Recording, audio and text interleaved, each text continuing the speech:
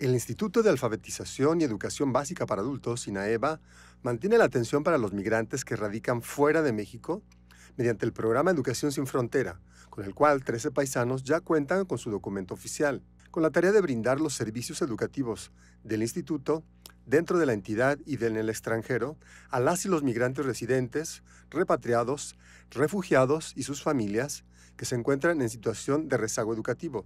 Luego de gestionar con el Consulado Mexicano en Texas que los certificados del INAEVA sean considerados como un documento de identificación oficial para usuarios guanajuatenses que radican en Estados Unidos, ya fueron entregados los primeros a paisanos en el Consulado Dallas, Texas. Este documento oficial cuenta con fotografía y un código QR que almacena la información del beneficiario. Para las y los migrantes que tienen interés en acreditar su educación básica desde Estados Unidos y Canadá, pueden ingresar a la página INAEVA Guanajuato o marcar al 800-746-2322.